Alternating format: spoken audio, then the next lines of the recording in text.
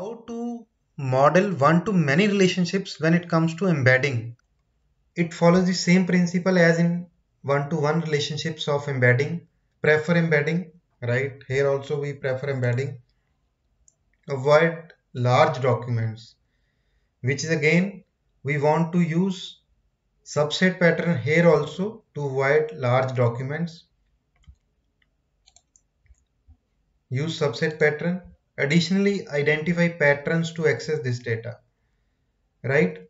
So we can use other patterns also, other design patterns also to access this data, which can be designed based upon different use cases. Now again, subset pattern challenge.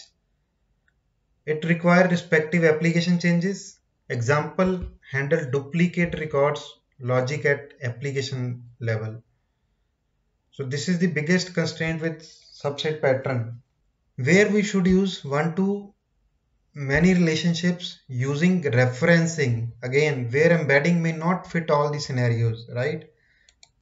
So it might happen that we have books collection as well as publisher also.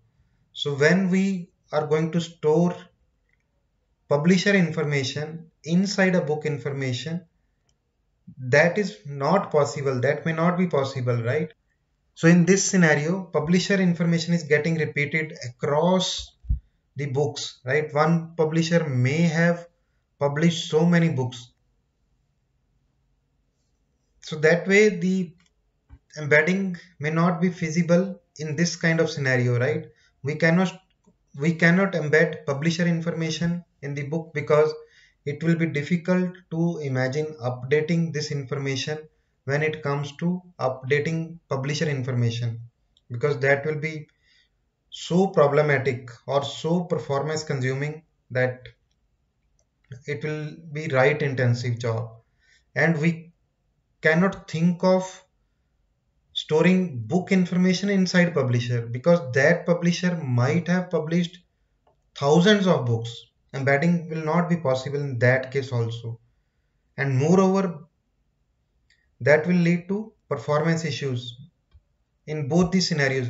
If we embed publisher information into books information or books information into publisher information both of these are not feasible in this case. In this case use referencing refer id either as array or some other possible way which I am going to show you. Approach 1.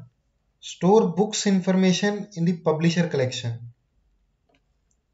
We can have publisher collection and inside that we can store books ID in that that this publisher has published these many books.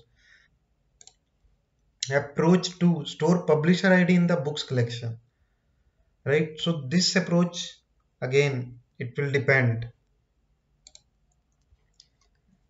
Now a question for you. Which approach do you think will work and why?